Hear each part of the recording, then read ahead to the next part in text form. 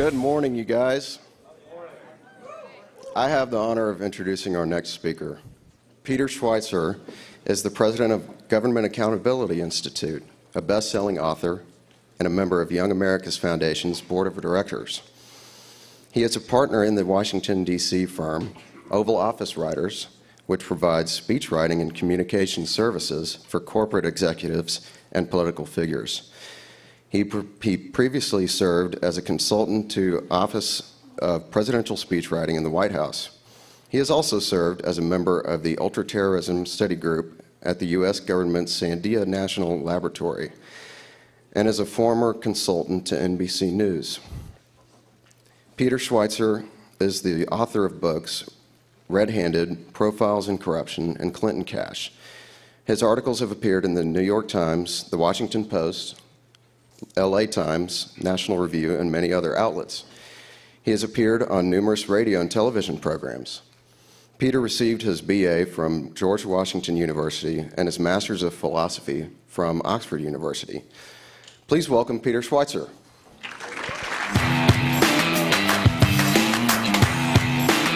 Good morning.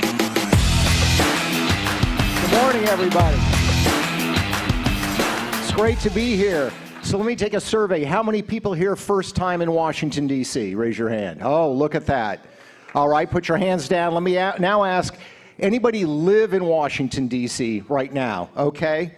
For all of you and those of you that are in between, take a moment when you're in this town to realize that you are in the capital city of the greatest nation in human history. Ta- Take in the monuments, take in the history, take in the museums, soak it up because it's something that we don't emphasize enough in this country. But I'm going to talk to you today about a different side of Washington, D.C., the side that is corrupt, the side that is a threat to our liberties. And I want to explain to you what is going on in our nation's capital, why it's going on, but then also what you can actually do to fight back. Now, one of the things that Bernie Sanders and a lot of people on the left are going to tell you is we need big government to fight big business, right? That's the premise of so many government actions that they want to take. Well, I'm here to tell you the truth. Big government and big business are not enemies. They are actually collaborators. They actually work together. And if you think about it, it's quite logical, okay? If you work in a government agency, in the government bureaucracy, let's say in the oil industry, do you want to have to regulate 179 companies? Or would you rather monitor 18 large, massive companies? If you work for that government bureaucracy and you want to go into the private sector, are you going to have a better opportunity with a small or mid sized oil company, for example? Or are you going to have a better, more lucrative opportunity at a large corporation? There are powerful incentives for our government bureaucrats to want to see the consolidation of economic power in the United States. And you see this manifest itself in all kinds of ways. Let me just give you sort of one example from the real world. Back about a decade ago, there was a law passed called Dodd Frank. It was the biggest financial reform in American political history. Uh, you know, the last time they redid the financial sector in the 1930s, the bill was like 36 pages long. Well, in this particular case, the bill was, with its added rules, about 10,000 pages long and it was massively confusing and hard for people to understand. Warren Buffett, the investor, said, I can't understand the rules behind Dodd Frank. Now, what the people that push those regulations, people like Bernie Sanders, will tell you is Dodd Frank was a way of reining in the power of large Wall Street firms. That's really curious because it turns out that the people that actually wrote Dodd Frank were lobbyists for Goldman Sachs. Now, why would lobbyists from Goldman Sachs want to write a complex regulatory bill that would affect them? Very simple. It was a way to weed out the competition. Smaller, weaker, uh, less wealthy financial firms couldn't afford to comply with the rules. So they wrote it up, they weeded out the competition, and they won big. You see what's going on here? This is the way that Washington, D.C. works and the way that the left doesn't want you to understand. Big government and big business are not enemies. They are actually business partners. And you see this not just in the financial sector, but when it comes to the environment and in all kinds of areas. So the next time that somebody from the left pushes the idea we need more regulation, we need more government power to rein in corporate power, you need to look behind what's actually going on and realize this is a collaborative effort that is taking place between big government and big business. Now, Washington, D.C., when I went to GW in the 1980s, was a far different place. Washington, D.C. today is a very, very wealthy town. And that to me is one of the biggest examples of what I'm talking about, about how big government works. You see, six of the 10 wealthiest counties in the United States are counties that border our nation's capital. Why? If you look at surveys about the consumption of, uh, uh, you know, the most expensive wines in the United States, Washington, D.C. consistently ranks at the top. This is a wealthy, wealthy, wealthy city.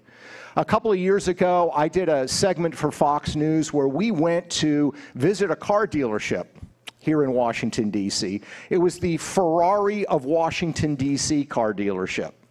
And we interviewed him and asked him, you know, how's business? How are things going? And it was really interesting what he said. He said, you know, uh, the Ferrari dealership in South Beach is doing great, and the Ferrari in Beverly Hills is doing great, uh, but the corporate offices is complaining about Ferrari of Washington, D.C. And I said, why? Why are they complaining? He said, oh, it's not because of the sales. The sales are actually better in Ferrari of Washington, D.C. than they are in Beverly Hills or in South Beach. The problem is in Washington, D.C., other like those other places, people in D.C. actually pay cash for their cars. And then Ferrari would rather have you finance them. So that is the kind of nation's capital that we have today, one that is flooded with cash, one that is collaborating with large business. And what it means is government is going to continue to grow in size and scope, not only because the left ideologically wants to take more of your freedom, wants more control of the economy. It's because there are powerful people, I would say on both sides of the political aisle, who see the profit and the money behind it. Because the more power that you collect, the more power you accumulate, the more power you have as a government official to pick winners and losers. And that means you have great opportunities to make a lot of money. Now, how does this work? What, what are we talking about in terms of self enrichment? And I'm going to give you a couple of examples. I want to talk about how it happens on the legislative level. And then I want to talk about the growth in foreign corruption, particularly as it involves the first family of the United States, the Bidens. Uh, we broke that story back in 2018, and I want to go into detail with you to explain how bad the situation is with the Bidens. But first, let's go to Capitol Hill. Now, on Capitol Hill, uh, if you studied uh, Political Science 101 or you had a high school civics class, you learned how bills and legislation passed, right? And there used to be cartoons about how legislation passed. Well, one of the things I imagine you probably did not hear about was something called a milker bill or a juicer bill. Anybody heard of a milker bill or a juicer bill? Has nothing to do with the dairy industry. It has nothing to do with uh, orange juice or grapefruit juice. These are bills and legislation that are designed to do one thing extort money from industries and individuals who fear that that legislation is going to pass. So it kind of works like this. Imagine I'm a congressman, a powerful head of a committee, and I need to raise some money. Or maybe I have a nephew that needs a job, and I want to help him get a job. So, what am I going to do? I am going to introduce legislation to put a special 10% surtax on the high tech industry. Now, I don't actually want this bill to pass, although I'm going to talk like I want this bill to pass. What I want to do is I want to milk and I want to juice benefits out of the industry that I've targeted. Because you see, what's going to happen is once I introduce that bill, lobbyists from all the high tech companies, whether it's Google or Microsoft, are going to come to my office and say, Congressman Schweizer, we want to talk to you about your legislation. So we'll talk about the legislation and they'll make policy arguments. What I'm looking for them to say is, you know what, Mr. Schweizer, we would like to hold a fundraiser for you. Or we understand that your nephew is looking for a job. We actually have an opening in government affairs, and we'd like to hire your nephew uh, for $250,000 a year. It doesn't matter that he doesn't have any background or he doesn't have any experience. Uh, we just think he'd be a good addition to the company. So you see what's happening? It's an industry. I, as a congressman, as a politician, I'm creating demand for my services. And the way you do that is by threatening industries, companies with regulations, with taxation, and force them to pay up. It's straight out of The Godfather. It's straight out of a mafia movie. These are milker bills and juicer bills. And I would dare say that a lot of the legislation that you see taking place in Washington, D.C. today actually fit that description.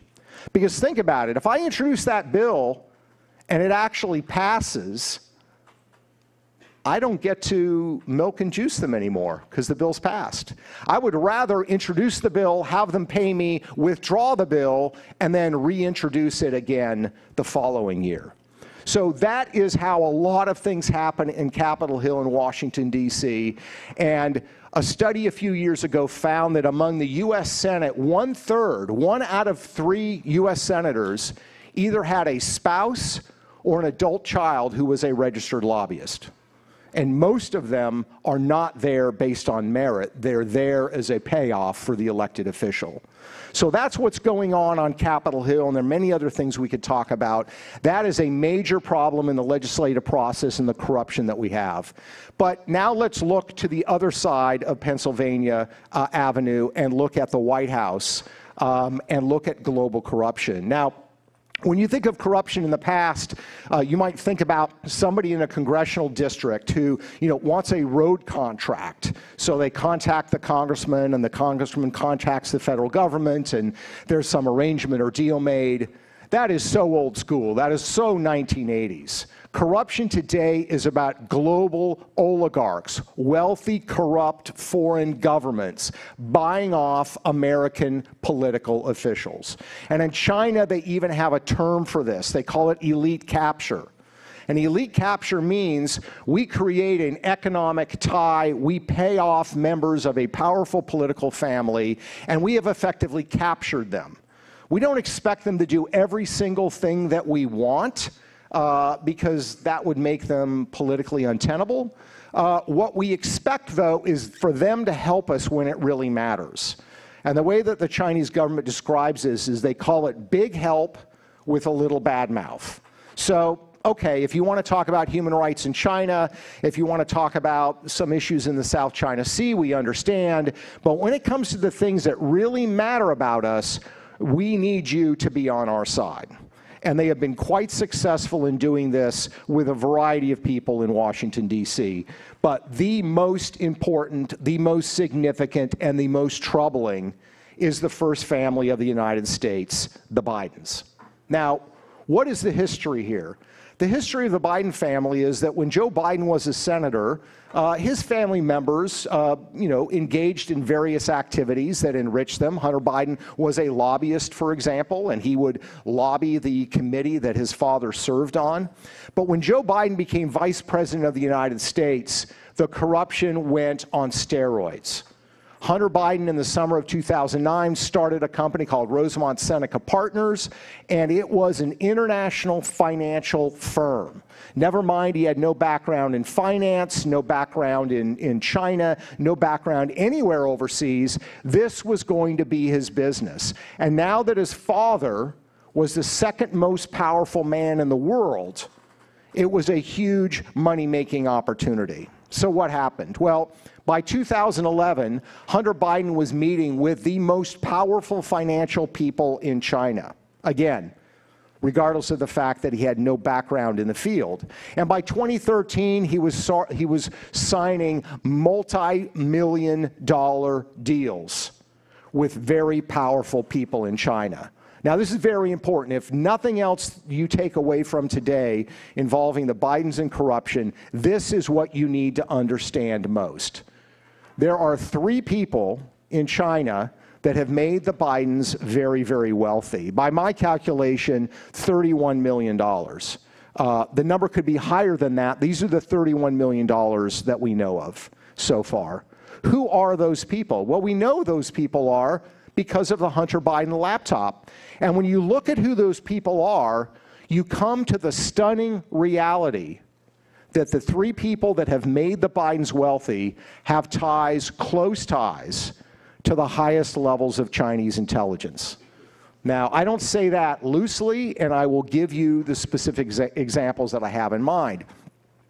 First gentleman's name is Che Feng. Che Feng, Hunter Biden on the laptop calls him the super chairman. Well, Che Feng is the one that arranges for Hunter Biden to join a Chinese government funded private equity firm, and Hunter Biden's stake in this is about $20 million. So, who is Che Feng? Well, at the same time that Che Feng is hooking up Hunter Biden with this sweetheart deal, he is also business partners with a guy named Ma Jian. Who's Ma Jian? He happens to be the vice minister of state security in China. His responsibility is recruiting foreign nationals to spy on behalf of China. So that's the first hookup that Hunter Biden gets. Uh, the second one is a gentleman named Henry Zhao. Henry Zhao wires Hunter Biden $5 million. And it's, it's uh, you know, he works for a financial firm in Hong Kong, but he has some very curious relationships. Henry Zhao wires $5 million to Hunter Biden out of an account from a company called Harvest. Who's his business partner? His business partner is the daughter of the former head of China's entire spy apparatus. So you see what's going on here? Do you see the pattern that is developing? Or let's go to the third person that we're talking about. This is Chairman Yi of this energy company, CEFC, that you may have heard of. Uh, Chairman Yi uh, provides $6 million to the Bidens. Uh, what is Chairman Yi's background? Chairman Yi's background is the job he had before he took this position at this energy company. He was the head of an organization that is known widely in the West to be a front for Chinese military intelligence. So you see what's going on here? Does anybody believe that that kind of coincidence occurs just sort of randomly? That they get three big deals, and of those three big deals, all of the principals are tied to the Chinese intelligence service at the highest level? I don't think so. So this is the strategy that foreign nationals are now employing against the United States, and they're employing it against the first family of the United States. And unfortunately, the response from the mainstream media in the wake of all this evidence has largely been to ignore it because they have decided that they would rather ride with Biden. And out of fear, they believe that Donald Trump is an existential threat to American democracy and that justifies them not covering the Hunter Biden story. So it's hugely problematic, and it's a huge problem in terms of the sovereignty of our country. Because the founding fathers, from the beginning, recognized, at that time it was Britain, recognized that foreign powers are going to try to bribe and coerce our leaders into doing their bidding. And that is precisely, I would argue, what is going on today. So, where does that leave us? Well, that leaves us in a situation where this great country that has been bequeathed to us from our ancestors, this system of government that has been established by our founders and that had its imperfections but has been improved over time, we are now in a circumstance where some of those institutions seem to be breaking down the Department of Justice, if you've been covering, uh, uh, you know, watching the case involving Hunter Biden and the plea deal, the Department of Justice has consistently tipped off the Bidens to the investigation taking place. They don't do that for anyone else. The Department of Justice has chosen uh, to try to sweep all of these issues under the rug with the Bidens in a manner uh, that really undermines the faith that people have in institutions like the FBI that have been long trusted by a lot of Americans. You're seeing an institutional breakdown that threatens the future of the country. Now, if you look through the span of human history, uh, whether it's ancient history or more modern, the decline of major countries and powers, or in ancient times, city states, oftentimes the collapse came about not because of an external invasion, but simply because the governing city became so corrupt, the political class became so concerned, not with virtue and doing the right thing, but with enriching themselves that ultimately the government institutional power just fell apart and the nation collapsed. That, in my mind, is the biggest threat that America faces today because ultimately we have a social contract, right? We have American people that have put their trust in the government to do the right thing, not all the time, but most of the time, and also to have scales of justice that are going to be even and not out of balance. An increasingly number of American people recognize that that is simply not the case anymore. Now, I go around and talk to people about this subject all the time. I've written lots of books, and oftentimes people just kind of get depressed after they hear me talk. I guess I have that effect on people. But I, I want to close with you today to say we have to fight back. There's no alternative. You see, what they want you to do is to be demoralized and to say, oh, what can I do? There's nothing I can do. Uh, we're outnumbered on campus. We're outnumbered uh, in the media. We're outnumbered in corporate America. Uh, you know, I'm just going to walk away. What can I do? That is precisely what they want you to do. That assures the victory of the enemies of freedom. So we need to fight back. And I would remind you, if you look through human history, those who are fighting for freedom are always, are always outnumbered by those who are the enemies of freedom. Look at Nazi Germany. Were there more Germans who collaborated with the regime than fought in the resistance to the regime? Absolutely. Look at neighboring France during World War II. Were there war, more members of the French resistance or more people collaborating with the Vichy government? Far more that cooperated with the Vichy government than fought in the resistance. Or move to the Cold War period, right? You've got the Soviet Union, the Soviet bloc. You may have heard of Lech Walesa and Solidarity and some of those that stood up against the Soviet Union. They were far, far outnumbered by people in those countries that collaborated. In modern day, you look at Cuba, you look at North Korea, those that are resisting the regime, those that are fighting for freedom, are far, vastly outnumbered by those who are collaborating. Now you might say, okay, that's the French. Um, no, same thing applies in the United States. If you look at most scholars in looking at the American Revolution, the country was basically divided in thirds. One third were fighting for independence, one third were collaborating with the British, and one third were kind of sitting on the fence.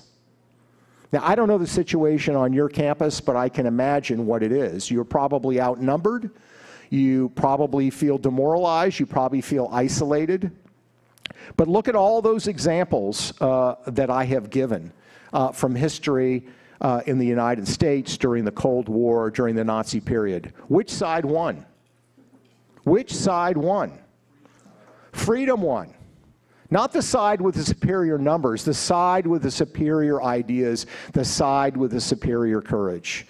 So I would just encourage all of you when you see bad things going on, when you are frustrated and angered by things that are going on, it is very easy to be demoralized and throw your hands up and say, I give up. That is exactly what they want you to do. They want you to give up. And I would just encourage all of you to know that you are stronger, you are smarter, and you can be more victorious in whatever battle you are fighting on your campus or nation than you actually think that you are.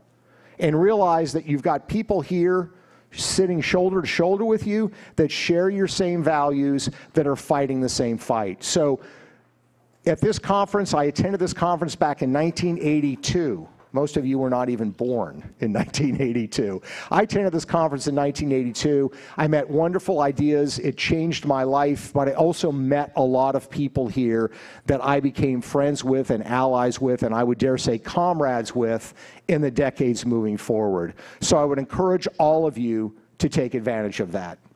And I would just close with a very simple, basic question If you people in this room aren't going to do it, knowing what you know, who is? Who is? It's up to you. And I'd love to take some questions. Thank you.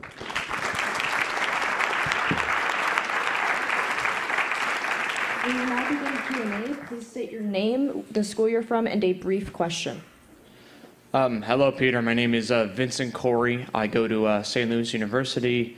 Um, there is a book by Ron Paul titled End the Fed, which suggests to remove the Federal Reserve and reinstate the gold standard. I've heard a lot of statements against the Federal Reserve elsewhere, and I've also heard a lot of arguments against, well, the gold standard. So, do you agree with Ron Paul's suggestion? I think anytime you have concentrated power, which you do with the Federal Reserve, and it operates in secret, you have a major problem. That's when abuse happens. So I don't pretend to be an economist um, in, in terms of you know whether the gold standard, are other people who suggested other commodities be used. But yes, I think the idea of the Federal Reserve operating the way that it does in secrecy the idea that we are supposed to trust these leaders uh, in their wisdom is honestly so 19th century.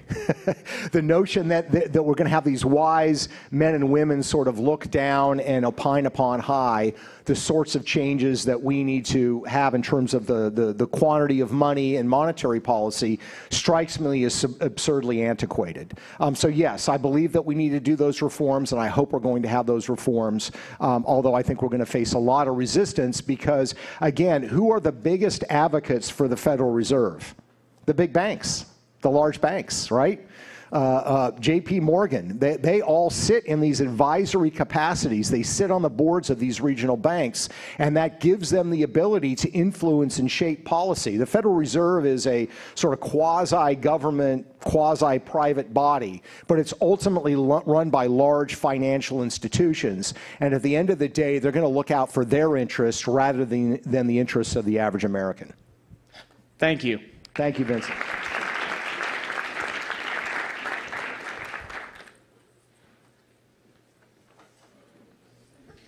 Hello, for obvious reasons, I won't state my name. I worked in financial crime at PwC and I came across Evergrande. The big four have not had their contracts renewed with China. The collapse of the housing market has caused massive stagnation. Given that I was pushed out for raising the crucial point that it is highly likely the big four handed over financial information of various governments, including that of the United States, to the CCP, would you like a copy of my thesis that is now a year old and based on public information of various publishers? Yes, I would. I would. And I think this is an important, uh, a, a very important example of the problem that we have, again, with these large institutions as it relates to China. Uh, we want to believe that these major institutions, big tech, for example, the big financial institutions, are basically freedom loving entities. When you look at their behavior as it regards to China, the way that they prostrate themselves to the Chinese government to our detriment. Um, it's absolutely appalling. So yes, I would love to uh, love to get your thesis. Let's figure out a way. I'll get you my email, and I would love to read it. Thank you. Thank you for joining me. Thank you.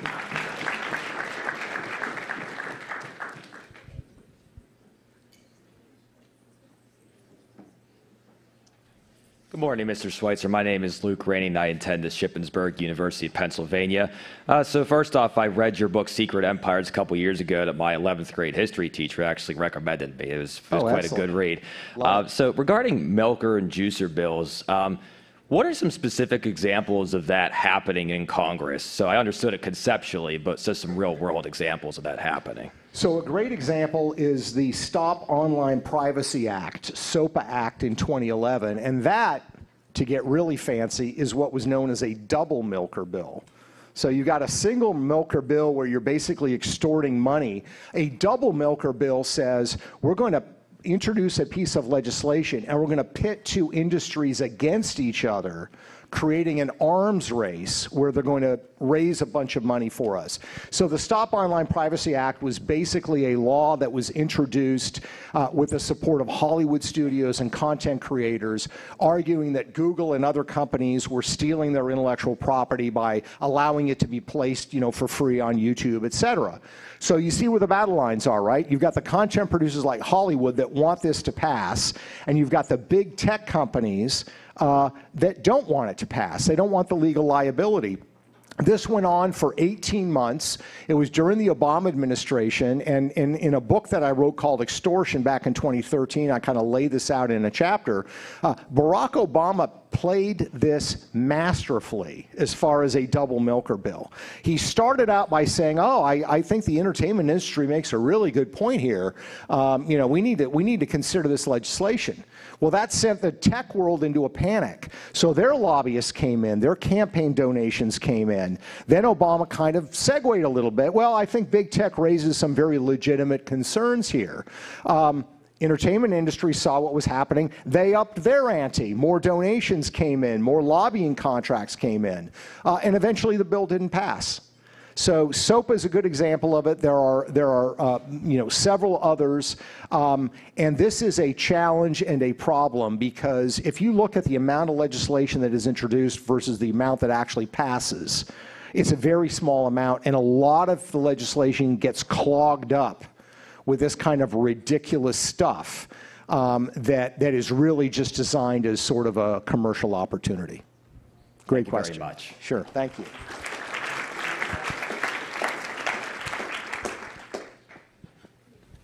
Hello, Mr. Schweizer. Thank you so much for being here. My name is uh, Sean Kim, and I am a current, um, I'm, I am a graduate of Sonoma State University. My question to you today is actually I have two.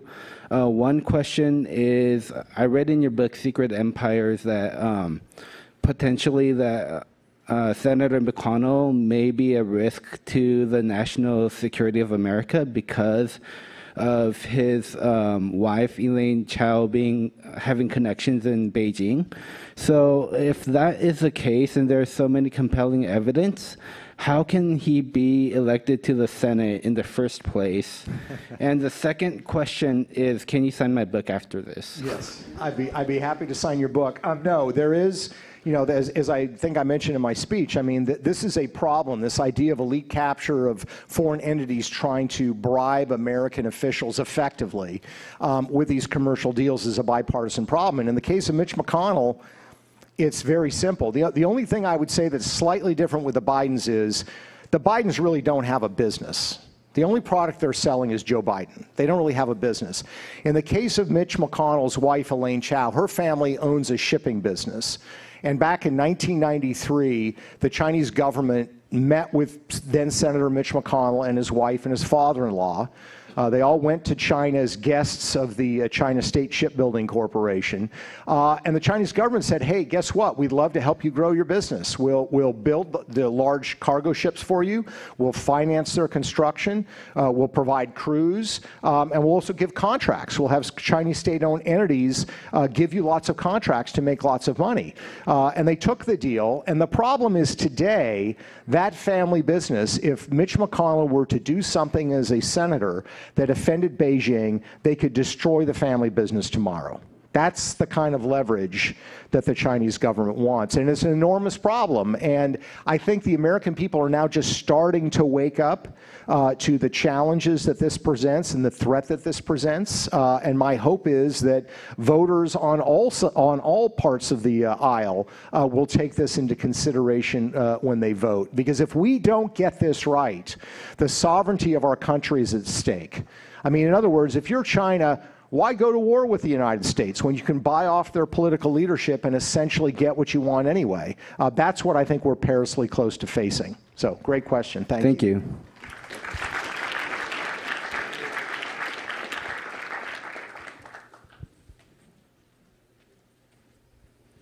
Hello, my name is Jared Nishimura from LeTourneau University. While it is no secret that the Biden family has taken bribes in the past, do you believe that the Biden is still getting paid or is he just getting blackmailed to this day? It's a great question. I don't know the answer to that. Um, we do know that um, the, that Hunter Biden received this equity stake. He got a 10% stake in a, a, financial management company that was funded by the Chinese government called uh, Bohai Harvest RST. Um, and that stake was worth about $20 million. Uh, it's unclear whether he sold that. They say they have. There are some Chinese corporate records that indicate that he may not have. Uh, so it's unclear. But I think the challenge that we face is that this money flow exists. There's money that we probably don't know about, uh, and that creates leverage and embarrassment. Um, and, a means by which you can manipulate political leaders. Everybody familiar with that uh, 1023 document that came out uh, involving Ukraine and the Bidens? This is the confidential uh, you know, human source that said uh, that the head of Burisma had paid, you know, uh, allegedly uh, $10 million in bribe, 5 million to Hunter, 5 million to Joe. Well, I would encourage everybody to go read that document because there's something startling in that document that very few people have picked up on. That conversation, according to the, to the uh, 1023, included a gentleman it was at that meeting when this was discussed, who was an aide to President Zelensky of Ukraine. Now, what does that mean? What that means is that if this conversation took place, if this bribery took place, does anybody really believe that this aide did not go back and tell President Zelensky or somebody else what he knows about the Bidens? And does anybody believe that if that's the case, that the Ukrainian government would not use that as leverage to get what it wants from the White House? Uh, these are the kind of complicating factors and problems that this presents. And, you know, I say that, you know, generally I think we should be supporting the Ukrainian government, but I don't want foreign governments with leverage over our leaders. Uh, and that's unfortunately where I feel we are today uh, when it comes to the Bidens and this corruption. Thank you. Thank you.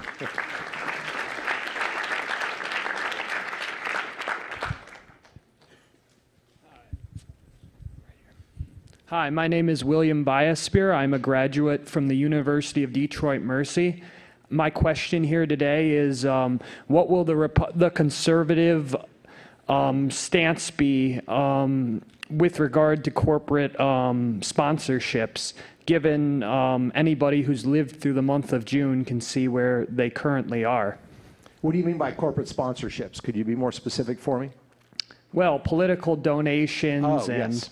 you know the company's official stances. Like if you go on a, the Google website or any or Amazon, for example, they will describe themselves as a progressive sort of corporation. Right. Yes, no, it's a great question. Um, and the financing of elections in the United States is always a challenging, difficult issue. And here's the problem the problem is if you say we're going to do away with individual private donations, the Supreme Court's already said there's sort of a First Amendment right that we have to express our political views by giving donations. And the problem is, if you got rid of them, what you'd be left with is government financed campaigns. And does anybody seriously think that incumbents, those that are in office, would not figure out ways to jigger that to their benefit? Of course they would.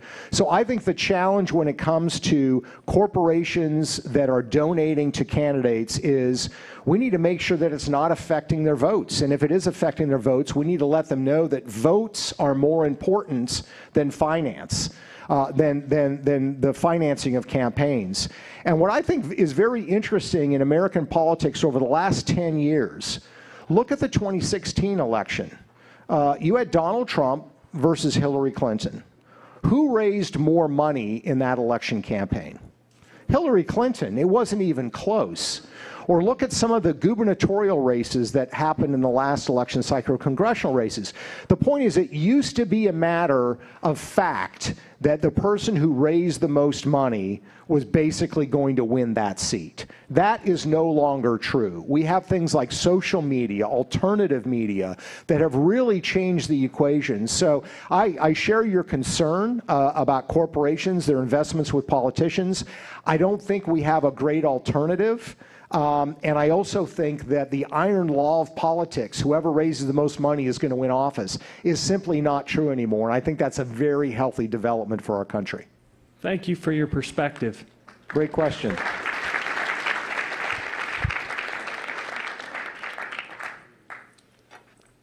Good morning, sir. Thank you for spending time with us today.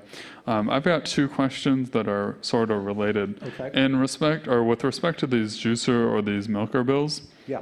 um, if corporations know that that is the purpose of the legislation, why don't they just, you know, ignore the the um, the attempt to extort them and just say, you know, we're not doing that? Um, and then the other question is, are there any ways for us as the public to identify whether or not a bill is meant for that purpose? Uh, great questions. Well, to the first one, the challenge, if you are a corporation, is to determine whether the politician is actually serious or not. And it's hard to know. And the risk could be enormous. So, you know, let's take my example. I want a 10% surtax on all profits from high tech companies. Um, they may have an internal debate at, at Google or Microsoft. Ah, he's not really serious. What if he is? It's a hell of a risk. And the, the, the, politician is going to do his darnest to demonstrate the fact that he is quite serious about it. So it's a game, and this is kind of, um, uh, for a lot of corporations, this is kind of the cost of doing business. Um, it's like the grocery store owner when the sort of the mafia guy comes by and says, "Hey, you know, you got a beautiful place here. Do you have fire insurance?" Well, yeah, I do. No, I mean, do you have real fire insurance? You know, give me a hundred bucks a week and we'll make sure there's no fire here. The guy may be totally joking. The guy may be totally scamming me. But if I own that grocery store and I'm convinced he might, there's a possibility that he might burn my place down, I'm just going to go ahead and pay him the hundred. Um, that's the challenge of it. Um, and then, you know, to uh, the second question, um, I think it's very hard to identify these bills um, because of the way that they're constructed. I think the question to really look at is um, what efforts are being made, how much support is there for it, does this person have a history of, of reintroducing the same pieces of legislation, and track what happens to their donations and track, which is pretty easy to do, you go to fec.gov, and track the hiring of their family members. I mean, I cannot tell you how many powerful people there are in Washington, D.C. Uh, James Clyburn, the, the number two Democrat in the House of Representatives, uh, has family members that have worked as lobbyists in the, in the communications industry for years. Uh, and it goes on both sides of the aisle. Um, uh, uh, Congress, uh, sorry, Senator Blunt, Roy Blunt from Missouri, who has left office. At one point, he had three family members, three adult children that were, and his wife that were registered lobbyists, all at the same time. So those are the kinds of clues that I think you can look for in that case. Great question. Thank you, sir. Sure. This will be our final question. All right. Hi, Mr. Schweizer. My name is Brooks. I go to Florida State University. Um, my question for you is um, looking back at 2020, we had something really big break, which was the Hunter Biden laptop story. Yeah. That was totally censored by every single major news outlet, social media. As we know now, the federal government was colluding with big tech to make sure that that story was censored when they knew it was real. Yeah. Um, and now we're kind of transitioning into this moment right now where um, you know, more questions are starting to be asked. If you look specifically, uh, RFK Jr. has said that uh, the CIA killed his uncle and his father. There were you know, plans in his assassination. Um, a lot of people just years ago were saying like UFOs were impossible. Now we have UFO hearings in Congress. Right, right. Um, so my question for you is, you're an investigative writer. Um, what can we do as uh, individuals here in this room to go out and, and try to find the truth ourselves. I'm not saying that those, what I said before, is, is true or false. I'm just saying, where can we go to, to find that information and, and to get better understanding of what's being said and to make sure uh, to see if it's true or not? Uh, it's a great question. Um, so I've been doing this for a long time. I'm 58 years old. I was doing this before the internet was very widespread. and the challenge back then was finding information. You had to go interview people, you'd look at microfiche. You have online access to so much information. The problem is you have access to too much information and it's sifting through. It's like you're panning for gold at the beach and you're looking for a little nugget and there's all this sand to be found everywhere. So what I would say is look for reliable information, um, contrast it, use common sense. Uh, and also explore yourself. In most states, if you want to find information, you go to a state university, you can file a transparency or a Freedom of Information Act request for documents and for information. So don't let the flood of information dissuade you. Use your common sense. Uh, read a variety of sources, not just those you agree with.